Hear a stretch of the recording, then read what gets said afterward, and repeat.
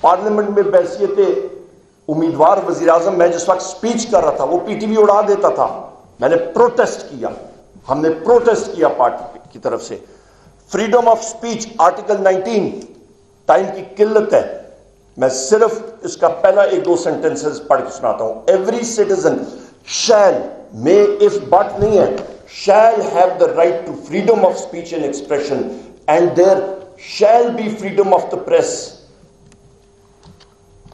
subject to any reasonable restrictions imposed by law in the interest of the glory of Islam or the integrity, security, defense of Pakistan, etc. etc. یہ چیزیں واضح ہیں یہ کتکنے صرف parliament لگا سکتی ہے اور کوئی نہیں لگا سکتا یہاں پہ خواتین و ذات ہم لوگ جس وقت آتے ہیں یہ آپ کو تین چار آرٹیکلز آئیں کہ میں نے آپ کو پڑھ کے سنائے تو یہ تصادم ہو رہا ہے ہمارے D G I S P R صاحب کے سٹیٹمنٹ کے ساتھ جنہوں نے کہا ہے کہ ہم لوگ انارکسٹ کے ساتھ ٹاکس نہیں کر سکتے ہیں، بھائی جان۔ آپ کو اتھارٹی کس نے کی ہے کہ آپ ٹاکس کریں کسی کا ساتھ؟ آپ تو ٹول ہیں اسٹیٹ کا ٹول ہے اتھارٹی دے گا وزیر اعظم۔ بساکیوں والا وزیر اعظم ہو، صحیح۔ ہم لوگ چلے مان لیتے ہیں بساکیوں والا وزیر اعظم ہوگا، وہ کرے گا۔ اس کے بعد آپ کے پاس وہ خود کہتا ہے کہ جی talks are held between political forces not between army and political leadership یہ اس چیز کی یہ نہ میں کہہ رہا ہوں، نہ آپ کہہ رہے ہیں، یہ اخباروں میں، یہ میڈیا میں، یہ اس چیز کی علامت ہے کہ D G I S P R صاحب کے نیریٹو میں بائی پولر ڈس آرڈر ہے۔ وہ خود کنفیوزڈ ہے کہ ان کا نیریٹو کیا ہے۔ ان کے پاس کلیئرٹی نہیں ہے۔ بور تو نہیں ہو رہے؟ چلیں۔ یہاں پہ ہم لوگ پھر آ جاتے ہیں جناب۔ ہم لوگ آتے ہیں، وہ کہتے ہیں جی کہ ہم لوگ دو ہزار تیرہ تک ہم لوگ جا کے انہوں نے کل فرمایا کہ ہم لوگ کمیشنز بنائیں گے۔ جی ضرور بنائیے گا۔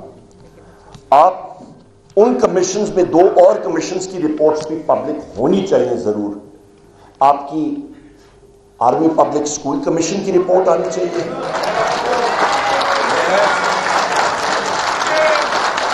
آپ کی دیکھیں نا میں نے ٹائم ٹائم آ گیا۔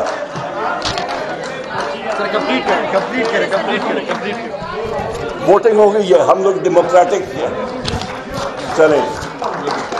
ہم لوگ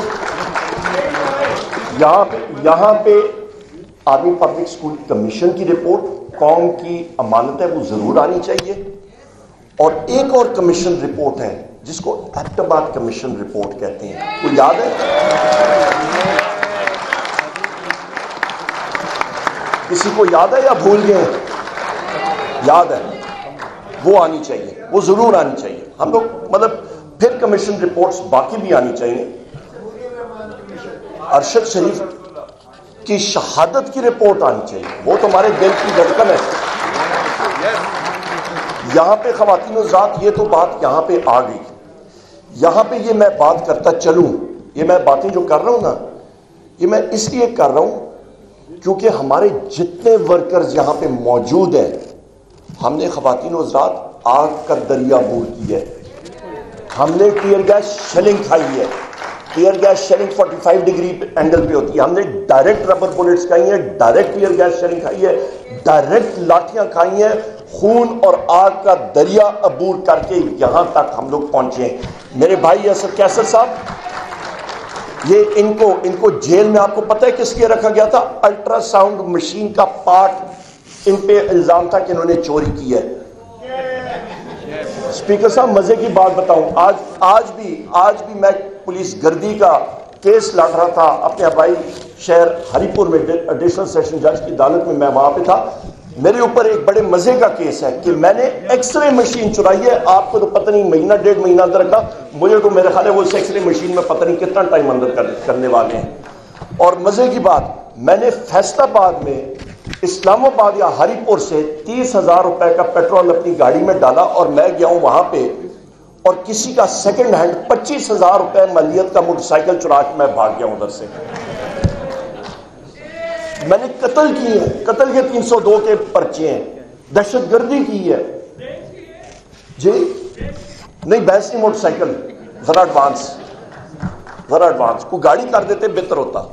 تو یہ قتل کے کیس یہ میں نے مطلب سیون ایٹی اے کے پرچے ہیں میرے پہ۔ اغوا برائے تاوان کے پرچے ہیں۔ یہ یہ اور یہ صرف مجھ پہ نہیں ہے، یہ پی ٹی آئی کے سارے لوگوں پہ ہیں۔ اور ہم ساروں کے پاس کوئی جدید قسم کی ٹیکنالوجی کوئی خلائی مخلوق نے ہمیں دی تھی، پتہ نہیں کون سی مخلوق ہے، خلائی مخلوق نے ہمیں دی تھی کہ ہم لوگ سارے شہروں میں بیک وقت وہاں پہ پہنچ کے ہم نے یہ سارے کام کر کے ہم لوگ غائب ہو گئے۔ یہ مجھے سمجھ نہیں آتی۔ تو یہ آپ بوگس نیریٹو دیکھیں۔ اس کے ساتھ ساتھ آگے ابھی آتے ہیں۔ ہم لوگ جب آگے آتے ہیں خواتین حضرات، یہ ساری چیزیں کیوں ہوئی لنڈن پلان کا حصہ۔ ٹارگٹ کون؟ وزیر اعظم عمران خان۔ یہ یہ ٹارگٹ کون? پاکستان کی جمہوریت. ایک چھ پرسنٹ کے ساتھ گروتھ گروئنگ معیشت. آج آپ دیکھ لیں، افراد زر، میرا تعلق فائنینس اور سٹیٹسٹکس کی دنیا سے ہے. آپ کو میں مختصراً آپ سے میں آپ کو سٹیٹسٹکس دیتا ہوں. Six percent growth rate Imran Khan صاحب کی حکومت میں. کووڈ کے باوجود، اس کے فوراً بعد، ایک سال بعد، اسحاق ڈار آئے نیگیٹو گروتھ ریٹ آپ اناڑی کو گاڑی میں بٹھائیں گے، پہاڑی علاقے میں اس کو گاڑی کا چلانے کا کہیں گے، اس نے کھائی میں نہیں مارنی ہے نا گاڑی، اس نے اٹھا کے کھائی میں نہیں ماری گاڑی۔ اس کے بعد آپ آ جائیں، افراد زر، آپ کی فوڈ انفلیشن اشیاء خرد و نوش کی افراد زر تقریباً پینتالیس فیصد سے بڑھ چکی ہے۔ جا کے چیک کر لیں۔ مجھے بتا دیں، جا کے آپ کو سولہ روپے کی روٹی ملے گی کسی تندور میں، پنجاب میں، کہیں اور۔ آپ کو خواتین و ذات اس وقت میں نے میڈیا پہ کہا، قومی اسمبلی میں میں کہتا رہا ہوں، یہ لوگ جیب کترے ہیں، جیب تراش ہیں، وہ کیسے؟ Petroleum development levy I M F کے ساتھ انہوں نے سودا کیا، جناب آٹھ سو ستر ارب روپے کا۔ بیچ میں سے کلوز انسرٹ کر دیا، انہوں نے کہا نہیں، آٹھ سو ستر نہیں، نو سو ستر ارب روپے ہم لوگ لیں گے عوام سے۔ جب کترے تو پھر سامنے آ گئے نا۔ اور جس وقت یو این کرائے بنا، جس وقت ہم ساروں نے پریس کانفرنسز کی ہفتہ پہلے انہوں نے ذرا سا ریڈیوس کر کیا، ابھی آپ پھر دیکھیں گے، پھر یہ اس کو انکریز کریں گے۔ قیمت آپ کے ڈیزل اور پیٹرول کی، آپ کی بجلی کی قیمتیں جو انہوں نے معاہدے کیے تھے، دو ہزار تین سو ارب روپے اس وقت، اس سال ہم سالوں کے اوپر آئے گا اور ہم نے دینے ہیں۔ قرضے جو انہوں نے فیکٹر کیا تھا، پندرہ سولہ ارب روپے، یہ باہر سے اٹھائیں گے۔ ان کو نہیں ملے۔ ان کو ساڑھے سات ارب ڈالر صرف ملا۔ پندرہ ارب ڈالر کی جگہ ساڑھے سات ارب ڈالر پورا کدھر سے کریں گے خسارہ؟ یہ نوٹ چھاپیں گے، اس سے ہوگا کیا؟ افراد زر پڑے گی۔ اور اس سے کیا ہوگا؟ غریبوں کا جینا جو ہے وہ مشکل ہو جائے گا۔ یہاں پہ یہ کہتے ہیں کہ جی ہم لوگ انویسٹمنٹ لا رہے ہیں۔ ہم لوگ اہلن وسہلن کہتے ہیں ہمارے سعودی باہر سے آئے ہیں۔ ان کو ہم لوگ ویلکم کرتے ہیں۔ ہم لوگ ملٹی نیشنل کوپریشنز کو ویلکم کرتے ہیں۔ پاکستان میں انویسٹمنٹ کریں، ان کی غلطی نہیں۔ جس وقت میرے قائد وزیر اعظم عمران خان صاحب جب کہتے ہیں کہ رول آف لا ہو، وہ ایک وجہ سے کہتے ہیں جس وقت رول آف لا ہوگا، جس وقت ریاست مدینہ بنے گی، جس وقت یہ ساری چیزوں پہ ہم لوگ فالو کریں گے، تو تب اس کا فائدہ یہ ہوگا جب انویسٹر آئے گا تو اس پہ جو آپ کاروبار سے تعلق رکھتے ہیں، آپ لیگل پروفیشن جو صاحبان ہیں آربیٹریشن کلوز جو لگتی ہے وہاں پہ لکھا جاتا ہے کہ وینیو آف آربیٹریشن کہاں پہ ہوگا؟ اس وقت خواتین جس وقت آپ کے چھ ججز ہائی کورٹ کے آپ کا باجوڑ کا ریٹرننگ آفسر اٹھ کے کہتا ہے کہ ہمارے کام میں ایک انٹیلیجنس ایجنسی جس کا نام انٹر سروسز انٹیلیجنس ہے، ان کے ایجنٹس ہمارے کاموں میں مداخلت کر رہے ہیں، تو وہاں پہ رول آف لا نہیں ہوگا، وہاں پہ انویسٹمنٹ نہیں آئے گی، کیونکہ وہ ٹرسٹ ہی نہیں کرتے ہیں آپ کے اور ہمارے جوڈیشل سسٹم کو۔ ججز کو سامنے آنا پڑے گا، اپنا دفاع کرنا پڑے گا۔ خواتین و حضرات میں اپنی باتیں مختصر نبی بات کروں گا۔ یہاں پہ بات جس وقت بات کرتے ہیں رول آف لا کی، تو دنیا کوئی مطلب بچے نہیں ہے، وہ دیکھتے ہیں۔ وزیر اعظم عمران خان صاحب کا کیس، بشرا بی بی کا کیس، شاہ محمود قریشی صاحب کا کیس، چودھری پرویز الہی صاحب کا کیس، ہمارے ملٹری کورٹس کے جو ساتھی اندر ہیں، پابند سلاسل ہیں، ہماری خواتین پابند سلاسل ہیں، ہمارے مرد حضرات پابند سلاسل ہیں، لوگوں کو پریس اور الیکٹرانک میڈیا کے لوگوں کو اٹھایا جاتا ہے، یوٹیوبرز کو اٹھایا جاتا ہے، انفورس ڈسپیئرڈ پرسنز کیا جاتا ہے تو وہ یہ ساری چیزیں دیکھتے ہیں اور وہ کہتے ہیں کہ ہم لوگ انویسٹمنٹ یہاں پہ نہیں کر سکتے کہ ہماری انویسٹمنٹ انشور ہے۔ یہاں پہ آپ دیکھ لیں، یہاں پہ آپ دیکھ لیں جس وقت الیکشن نہیں ہوا تھا، ہمارے لوگوں کو اٹھا کے میڈیا کے سامنے ایک سٹیج انکاؤنٹر ایک پولیس انکاؤنٹر ہوتا ہے، ایک سٹیج میڈیا انکاؤنٹر کے تحت ان کو سیاسی طور پہ اسیسنیٹ کیا گیا ہے۔ اس کو ہم لوگ کنڈیم کرتے ہیں۔ اور یہ کسی کے ساتھ نہیں ہونا چاہیے۔ ابھی بھی ہمارے میڈیا کے لوگوں کو اٹھایا جا رہا ہے۔ کیوں؟ کیونکہ صرف وہ بات کرنا چاہ رہے اس کے ساتھ ساتھ خواتین و ذات، یہاں پہ وائلنس کی بات ہوئی نو مئی کی۔ جو لوگ لاہور کی جغرافی سے واقف ہیں، جس وقت مال روڈ سے آپ آتے ہیں اور جیل روڈ جیل روڈ کی طرف آتے ہیں، وہاں پہ آپ رائٹ پہ مڑتے ہیں تو پولیس لائنز ہیں۔ نو مئی کو مجھے بتا دے کوئی کہ لاہور میں چڑی پر مارتی ہے۔ تو آپ کا سو، ڈیڑھ سو رائٹ گیئر میں ملبوس آپ کا پولیس والا وہاں پہ کھڑا ہو جاتا ہے بندوقیں تان کے اور ٹیئر گیس شیلز لے کے اور لاٹیاں لے کے۔ تو نو مئی کے دن وہ پولیس لائن سے پچاس پولیس والے نہیں آ سکتے تھے۔ وہاں پہ دو ہزار کی نفری ہے وہاں پہ پولیس لائنز میں۔ جی؟ قربان لائن۔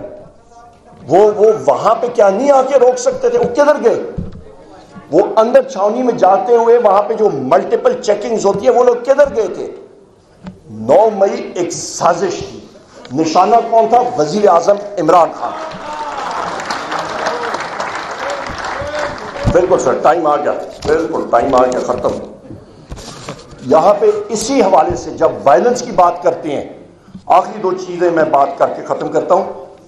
بے نظیر بھٹو صاحبہ جس دن شہید ہوئی تھی، اس کے اگلے دن، دو تین دن آپ نے دیکھا تھا، ٹرینیں چلی سارا کچھ ہوا۔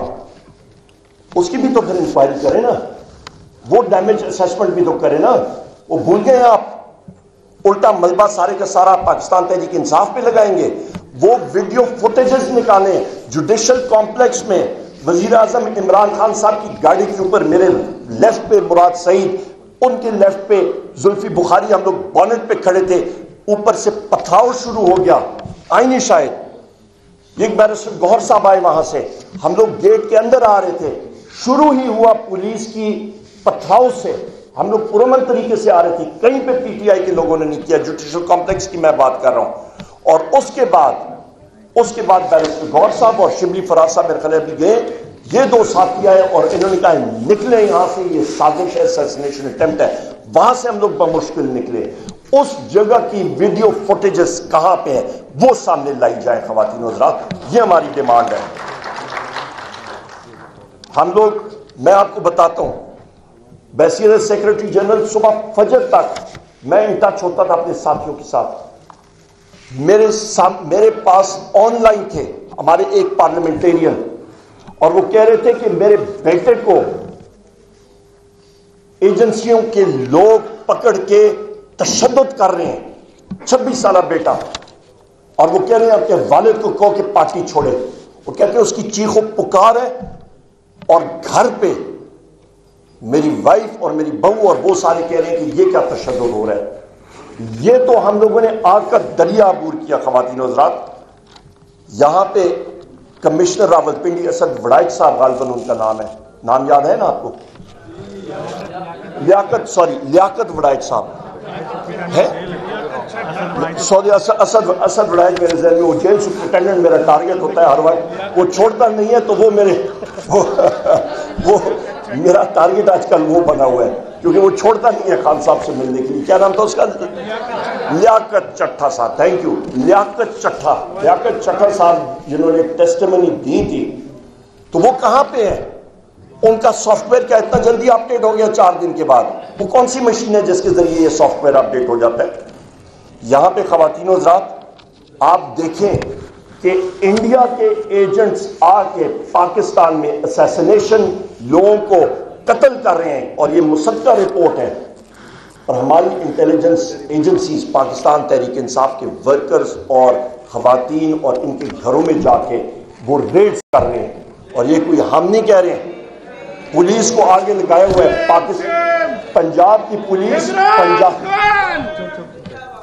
پنجاب کی پولیس جس کا آئی جی ہے، میں فلور آف دا ہاؤس پہ کہہ چکا ہوں، وہ ایک ٹاؤٹ ہے۔ ڈاکٹر عثمان اس کا نام ہے۔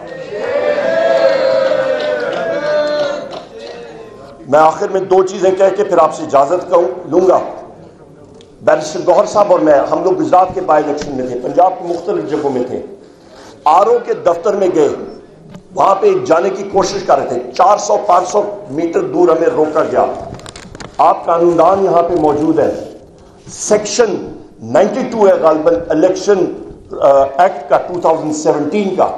جہاں پہ ظاہر مطلب صاف لکھا ہوا ہے کہ کینڈیڈیٹ یا اس کا الیکشن یا، الیکشن ایجنٹ یا آتھرائز پرسن اس کی موجودگی میں الیکشن ریزلٹ کی ٹیبلیشن ہوگی۔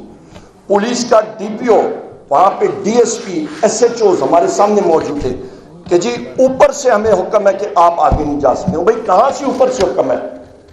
کہ آروں کے در ہے کہ جی وہ نہیں مل سکتے ہیں۔ ہم سے چار میڈیا کے ساتھی انہوں نے ہم سے انٹرویو لیا۔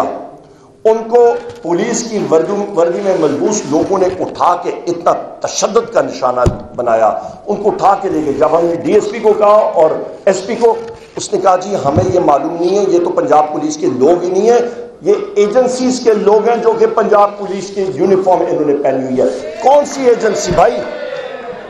یہ حالات ہیں۔ تو ان حالات میں ملک میں انویسٹمنٹ ہوگی کیا؟ اور آخر میں خواتین و حضرات، میں کنڈیم کرتا ہوں جو ہمارے وکلا حضرات ہیں، ان پہ جو لاٹھی چارج ہوئی ہے، آج لاہور میں جو ہوئی ہے اور میں کنڈیم کرتا ہوں کہ ہمارے ایکٹیوسٹ ہمارے M N As M P As ہمارے فارم فورٹی فائیو کے جیتے ہوئے لوگ، ہمارے کینڈیڈیٹس ان کے گھروں میں جا کے پولیس گردی جو ہوتی رہی ہے کل اور پرسوں رات سے، اس کو ہم لوگ کنڈیم کرتے ہیں۔ اللہ تعالیٰ ہم سب کا حامی ناصر ہو۔ میں نے آپ کا بہت ٹائم لیا اور دعا کریں، جلد از جلد باہر آئیں اور دعا کریں گے ان شاء اللہ تعالیٰ کہ ہم سب لوگ یہاں پہ محمود خان اچکزئی صاحب کی محمود خان اچکزئی صاحب کی سربراہی میں